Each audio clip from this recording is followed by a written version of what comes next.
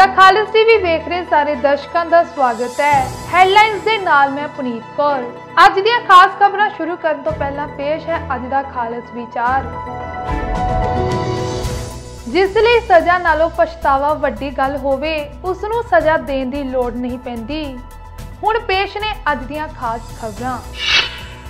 ਸ਼ਹੀਦ ਭਗਤ ਸਿੰਘ ਦੇ ਜੱਦੀ ਪਿੰਡ ਖਟਕੜ ਕਲਾਂ ਨਵਾਂ ਸ਼ਹਿਰ ਵਿਖੇ ਸ਼ਹੀਦ ਭਗਤ ਸਿੰਘ, ਸੁਖਦੇਵ ਅਤੇ ਰਾਜਗੁਰੂ ਦੇ ਸ਼ਹੀਦੀ ਦਿਹਾੜੇ ਨੂੰ ਸਮਰਪਿਤ ਕੀਤੀ ਗਈ ਕਿਸਾਨ ਮਜ਼ਦੂਰ ਏਕਤਾ ਮਹਾ ਰੈਲੀ। ਰੈਲੀ ਵਿੱਚ ਕਿਸਾਨ ਲੀਡਰ, ਧਾਰਮਿਕ ਲੀਡਰ ਅਤੇ ਵੱਖ-ਵੱਖ ਕਲਾਕਾਰਾਂ ਨੇ ਕੀਤੀ ਸ਼ਮੂਲੀਅਤ। ਵੱਡੀ ਗਿਣਤੀ 'ਚ ਲੋਕ ਵੀ ਰੈਲੀ 'ਚ ਹੋਏ ਸ਼ਾਮਿਲ। ਇਸ ਰੈਲੀ ਮੌਕੇ ਮਿਸਲ ਸ਼ਹੀਦਾਂ ਤਰਨਾ ਦਲ, ਹਰੀਆਂ ਵੇਲਾਂ ਦੇ ਮੁਖੀ ਸੰਤ ਬਾਬਾ ਨਿਹਾਲ ਸਿੰਘ ਨੇ ਸ਼ਹੀਦ ਭਗਤ ਸਿੰਘ ਸੁਖਦੇਵ ਅਤੇ ਰਾਜਗੁਰੂ ਅਤੇ ਕਿਸਾਨੀ ਅੰਦੋਲਨ ਦੌਰਾਨ ਸ਼ਹੀਦ ਹੋਏ ਕਿਸਾਨਾਂ ਨੂੰ ਸ਼ਰਧਾਂਜਲੀ ਦੇਣ ਲਈ ਲੋਕਾਂ ਨੂੰ ਪੰਜ ਵਾਰ ਕਰਾਇਆ ਮੂਲ ਮੰਤਰ ਦਾ ਜਾਪ।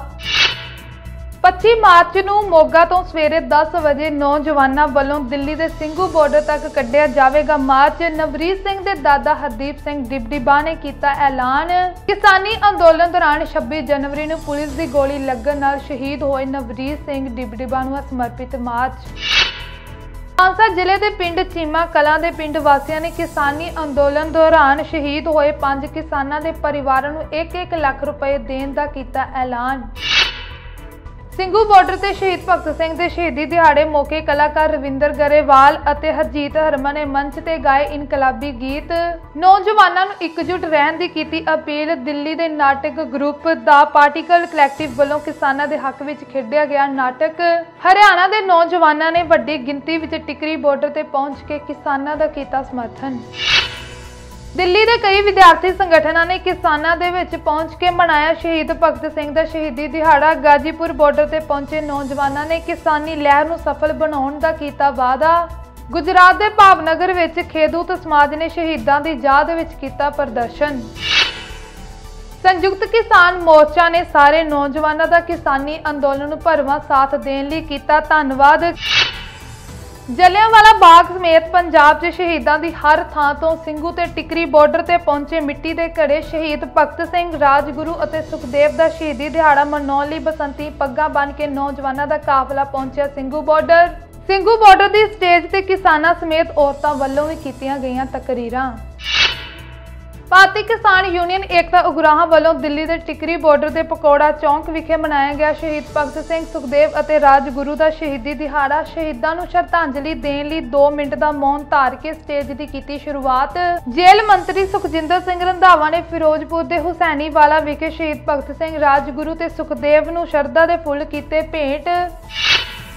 ਕੇਂਦਰ ਸਰਕਾਰ ਸ਼ਹੀਦੇ ਆਜਮ ਦੇ ਨਾਮ ਤੇ ਕੋਈ ਵੱਡੀ ਯੋਜਨਾ ਦਾ ਕਰੇ ਐਲਾਨ। ਕਾਂਗਰਸੀ ਲੀਡਰ ਰਵਨੀਤ ਸਿੰਘ ਬਿੱਟੂ ਨੇ ਲੋਕ ਸਭਾ 'ਚ ਕੇਂਦਰ ਸਰਕਾਰ ਤੋਂ ਕੀਤੀ ਮੰਗ। ਰਾਜ ਸਭਾ ਵਿੱਚ ਰਾਸ਼ਟਰੀ ਜਨਤਾ ਦਲ ਮੈਂਬਰ ਮਨੋਜ ਝਾ ਨੇ ਕਿਸੇ ਵੀ ਕੇਂਦਰੀ ਯੂਨੀਵਰਸਿਟੀ ਵਿੱਚ ਭਗਤ ਸਿੰਘ ਦੇ ਨਾਮ ਤੇ ਚੇਅਰ ਸਥਾਪਿਤ ਕਰਨ ਦੀ ਕੀਤੀ ਮੰਗ। ਪ੍ਰਧਾਨ ਮੰਤਰੀ ਨਰਿੰਦਰ ਮੋਦੀ ਨੇ ਸ਼ਹੀਦ ਭਗਤ ਸਿੰਘ ਸੁਖਦੇਵ ਅਤੇ ਰਾਜਗੁਰੂ ਨੂੰ ਸ਼ਹੀਦੀ ਦਿਹਾੜੇ ਮੌਕੇ ਦਿੱਤੀ ਸ਼ਰਧਾਂਜਲੀ। 30 ਮਾਰਚ ਨੂੰ ਨਰਮਦਾ ਘਾਟੀ ਦੇ ਕਿਸਾਨਾਂ ਵੱਲੋਂ ਡਾਂਡੀ ਤੋਂ ਮਿੱਟੀ ਸਤਿਆਗ੍ਰਹਿ ਯਾਤਰਾ ਵਿੱਚ ਲਿਆ ਜਾਵੇਗਾ ਹਿੱਸਾ। ਨਰਮਦਾ ਘਾਟੀ ਦੀ ਮਿੱਟੀ ਦਿੱਲੀ ਵਿੱਚ ਕਿਸਾਨਾਂ ਦੇ ਸੰਘਰਸ਼ ਵਾਲੀ ਥਾਂ ਤੇ ਪਹੁੰਚਾਈ ਜਾਵੇਗੀ। ਨਰਮਦਾ ਘਾਟੀ ਦੇ ਕਿਸਾਨ ਮਜ਼ਦੂਰ ਵੀ ਇਸ ਮਿੱਟੀ ਸਤਿਆਗ੍ਰਹਿ ਯਾਤਰਾ ਰਾਹੀਂ ਪਹੁੰਚਣਗੇ ਦਿੱਲੀ। ਕੇਂਦਰੀ ਕੈਬਨਿਟ ਨੇ ਕਰੋਨਾ ਦੇ ਵਾਧੇ ਮਾਮਲਿਆਂ ਦੇ ਮੱਦੇਨਜ਼ਰ ਲਿਆ ਵੱਡਾ ਫੈਸਲਾ। 45 ਸਾਲ ਤੋਂ ਵੱਧ ਉਮਰ ਦੇ ਲੋਕਾਂ ਨੂੰ 1 ਅਪ੍ਰੈਲ ਤੋਂ ਲੱਗੇਗੀ ਵੈਕਸੀਨ। ਕੇਂਦਰੀ ਮੰਤਰੀ ਪ੍ਰਕਾਸ਼ ਜਾਵੜੇਕਰ ਨੇ ਦਿੱਤੀ ਜਾਣਕਾਰੀ। ਸਰਕਾਰੀ ਸਕੂਲਾਂ ਵਿੱਚ ਦਾਖਲਿਆਂ ਲਈ ਲੋਕਾਂ ਨੂੰ ਪ੍ਰੇਰਿਤ ਕਰਨ ਵਾਸਤੇ ਸਕੂਲ ਸਿੱਖਿਆ ਵਿਭਾਗ ਨੇ ਦਾਖਲਾ ਹਫ਼ਤਾ ਕੀਤਾ ਸ਼ੁਰੂ। ਅਧਿਆਪਕਾਂ ਵੱਲੋਂ ਘਰ ਘਰ ਪਿੰਡਾਂ ਵਿੱਚ ਜਾ ਕੇ ਸਰਕਾਰੀ ਸਕੂਲਾਂ 'ਚ ਦਾਖਲੇ ਵਧਾਉਣ ਲਈ ਕੀਤੇ ਜਾ ਰਹੇ ਨੇ ਉਪਰਾਲੇ। ਪੰਜਾਬ ਦੇ ਮੁੱਖ ਮੰਤਰੀ ਕੈਪਟਨ ਅਮਰਿੰਦਰ ਸਿੰਘ ਨੇ ਲੋਕਾਂ ਨੂੰ ਮਾਸਕ ਪਹਿਨਣ ਅਤੇ ਸਮਾਜਿਕ ਦੂਰੀ ਕਾਇਮ ਰੱਖਣ ਸਮੇਤ ਸਾਰੇ ਕੋਵਿਡ ਸੇਫਟੀ ਪ੍ਰੋਟੋਕਾਲ ਦਾ ਸਖਤੀ ਨਾਲ ਪਾਲਣ ਕਰਨ ਦੀ ਕੀਤੀ ਅਪੀਲ। ਕਿਹਾ ਜੇ ਲੋਕ ਨਿਯਮਾਂ ਦੀ ਪਾਲਣਾ ਨਹੀਂ ਕਰਨਗੇ ਤਾਂ ਲਗਾਈਆਂ ਜਾਣਗੀਆਂ ਹੋਰ ਪਾਬੰਦੀਆਂ। ਮੁਹਾਲੀ 'ਚ ਰਾਜਨੀਤਿਕ ਪਾਰਟੀਆਂ ਦੀਆਂ ਰੈਲੀਆਂ ਤੇ ਲੱਗੀ ਪਾਬੰਦੀ, ਕਰੋਨਾ ਦੇ ਵਾਧੇ ਮਾਮਲਿਆਂ ਦੇ ਮੱਦੇਨਜ਼ਰ ਮੁਹਾਲੀ ਦੇ ਡੀਸੀ ਨੇ ਕਿਸੇ ਵੀ ਤਰ੍ਹਾਂ ਦੇ ਇਕੱਠ ਤੇ ਲਾਈ ਪਾਬੰਦੀ। ਕਰੋਨਾ ਦੇ ਵਾਧੇ ਮਾਮਲਿਆਂ ਦੇ ਮੱਦੇਨਜ਼ਰ ਮੁਹਾਲੀ ਪ੍ਰਸ਼ਾਸਨ ਨੇ ਜਾਰੀ ਕੀਤੇ ਦਿਸ਼ਾ ਨਿਰਦੇਸ਼ ਨਹੀਂ ਹੋਣਗੇ ਕੋਈ ਵੀ ਸਿਆਸੀ ਤੇ ਸਮਾਜਿਕ ਸਮਾਗਮ। ਵਿਆਹ ਸਮਾਗਮ ਅਤੇ ਅੰਤਿਮ ਸਮਾਗਮ 'ਚ 20 ਤੋਂ ਜ਼ਿਆਦਾ ਲੋਕ ਨਹੀਂ ਹੋ ਸਕਦੇ ਇਕੱਠੇ। ਸਰਕਾਰੀ ਦਫ਼ਤਰਾਂ 'ਚ ਸ਼ਿਕਾਇਤਾਂ ਦਾ ਆਨਲਾਈਨ ਕੀਤਾ ਜਾਵੇਗਾ ਨਿਪਟਾਰਾ। ਸਾਰੇ ਸਿਨੇਮਾ ਹਾਲ, ਮਲਟੀਪਲੈਕਸ ਰੈਸਟੋਰੈਂਟ ਤੇ ਸ਼ਾਪਿੰਗ ਮਾਲ ਐਤਵਾਰ ਰਹਿਣਗੇ ਬੰਦ। ਰਾਤ ਨੂੰ ਕਰਫਿਊ ਦੌਰਾਨ ਖਾਣੇ ਦੀ ਕੀਤੀ ਜਾ ਸਕੇਗੀ ਹੋਮ ਡਿਲੀਵਰੀ ਸ਼ਾਪਿੰਗ ਮਾਲ 'ਚ 100 ਤੋਂ ਜ਼ਿਆਦਾ ਲੋਕਾਂ ਨੂੰ ਅੰਦਰ ਜਾਣ ਦੀ ਨਹੀਂ ਹੋਵੇਗੀ ਇਜਾਜ਼ਤ। ਸਾਰੇ ਸਕੂਲ ਤੇ ਕਾਲਜ 31 ਮਾਰਚ ਤੱਕ ਰਹਿਣਗੇ ਬੰਦ, ਬਿਨਾਂ ਮਾਸਕ ਘੁੰਮਣ ਵਾਲੇ ਲੋਕਾਂ ਦਾ ਕਰਾਇਆ ਜਾਵੇਗਾ ਤੁਰੰਤ ਕਰੋਨਾ ਟੈਸਟ। ਲੋਕਾਂ ਨੂੰ ਰਾਤ 10 ਵਜੇ ਤੋਂ ਬਾਅਦ ਆਪਣੇ ਘਰ ਕਿਸੇ ਨੂੰ ਨਾ ਬੁਲਾਉਣ ਦੇ ਦਿੱਤੇ ਹੁਕਮ। 27 ਮਾਰਚ ਤੋਂ ਹਰ ਸ਼ਨੀਵਾਰ ਸਵੇਰੇ 11 ਵਜੇ ਤੋਂ 12 ਵਜੇ ਤੱਕ ਕਰੋਨਾ ਮਹਾਮਾਰੀ ਕਾਰਨ ਜਾਨ ਗਵਾਉਣ ਵਾਲੇ ਲੋਕਾਂ ਦੀ ਯਾਦ ਵਿੱਚ ਰੱਖਿਆ ਜਾਵੇਗਾ ਮੌਨ। ਇਸ ਦੌਰਾਨ ਸੜਕਾਂ ਤੇ ਨਹੀਂ ਚੱਲਣਗੇ ਵਾਹਨ।